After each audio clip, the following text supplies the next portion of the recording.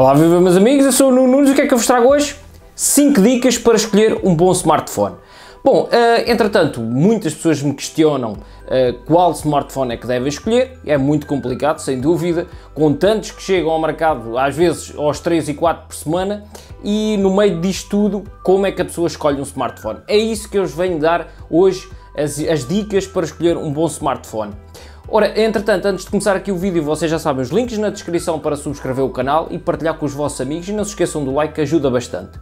Bom, eh, eu deixo-vos aqui a primeira dica, ela que é uh, o preço, o preço, o que, quanto é que nós vamos gastar? Essa é sempre a questão que eu faço sempre. Uh, eu digo sempre, olha, quanto é que vocês querem gastar? Qual é o máximo que vocês querem gastar? E depois ali, com uma diferença talvez de 5% não é, em relação ao valor, Bom, sempre uma pequena diferençazinha, imagina que a pessoa quer gastar 100 euros, eu digo sempre, olha, vejam lá, com 130 já vão comprar qualquer coisa melhor, ou por exemplo, imagina de 200, se calhar gastando 250, se calhar vão ter um excelente smartphone, uma diferença muito melhor a nível de câmaras, de bateria, tenham atenção a esses pormenores, é sempre o valor, acho que é o mais importante, a pessoa define ali um valor máximo, uh, ou se não ali uma diferença pequenina, uma diferença de valor pequena, e a partir daí estará o caminho para a escolha de um bom smartphone.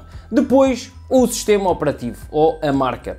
Bom, há pessoas que me vão dizer, bom, mas eu gosto mais de iPhone, eu gosto mais de uh, Android e aqui vocês têm que definir se querem Android, se querem uh, o Android. Se querem o Android, se querem o iPhone.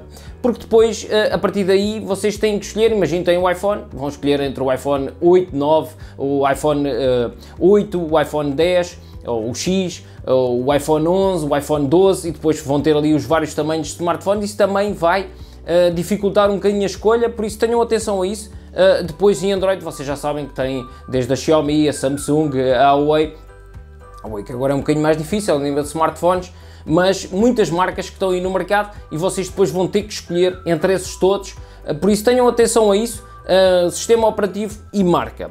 Depois de escolher isso, o tempo que vocês vão utilizar o smartphone. E isso aí pode definir uh, muito, não é? Imagina que vocês uh, vão utilizar o smartphone durante um ano. Ah, se calhar também não vale a pena estar a gastar muito, não é? Uh, mas vocês um, vão utilizar o smartphone durante muito tempo, isso poderá ser mais um ponto importante, não é? Uh, um ponto muito uh, relevante na escolha do smartphone. Por exemplo, imaginem que vocês vão utilizar o smartphone durante 5 anos. Eu digo sempre às pessoas, se calhar, se escolher um smartphone com um melhor processador, ou com uma bateria maior, ou com um, umas câmaras melhores, se calhar vai fazer a diferença ao longo do tempo e tenham atenção a isso, que o tempo pode definir e depois vocês pagarem um pouco mais, se dividirem aquilo nos anos todos que vão utilizar o smartphone, que eu aconselho no máximo ir até aos 5 anos e depois vender o smartphone, esse pode ser um dos pontos importantes na escolha, definir ali o valor. Depois, outro ponto, o quarto ponto na escolha de um smartphone, tentar escolher o mais recente. E porquê é que eu digo mais recente? Porque depois vocês vão ter atualizações, vão ter o último sistema operativo, em princípio terá o, o, último sistema, por exemplo, em Android, já temos aqui um Android 11 e depois vão ter atualizações pelo menos até o Android 13, muitos deles poderão chegar ao Android 13, e se vocês comprarem um smartphone que já saiu há dois anos automaticamente, ou um, em princípio, um, se calhar já vai ficar por ali, já não vai ter mais atualizações e pode dar aso depois, por exemplo, uma aplicação nova que, se, que chega ao mercado ela pode já não funcionar num sistema operativo antigo e tenham atenção a esse pormenor. Tentar algo mais recente possível, do último ano, em princípio, ou dos últimos seis meses, pode fazer a diferença ao longo do tempo. E por último, a quinta dica para comprar um smartphone, que eu também sempre explico às pessoas, uh, vejam os tops. Os tops, por exemplo, como quanto custa, o que imóvel, e aí vão definir muito bem, uh, vão perceber para onde é que o mercado se dirige, para que tipo de smartphones é que as pessoas estão a comprar, e normalmente ali o top 3, os 3 smartphones mais vendidos são boas escolhas, são bons smartphones, porque uh, ao longo do tempo né, as pessoas percebem e entendem e explicam aos amigos quais são as melhores escolhas e, e aí define-se muito bem. Essa é uma dica muito importante, ver os tops, perceber mais ou menos para onde é que o mercado se dirige e se calhar normalmente, não é? se vocês virem no Kimóvel neste momento, o Poco F3, Poco X3 Pro são os smartphones mais vendidos, são excelentes escolhas, relação qualidade-preço E aí um ponto muito importante uh, uh, que vocês não devem descurar que é verificar os tops no momento e a partir daí ficar já com uma ideia de escolha do smartphone.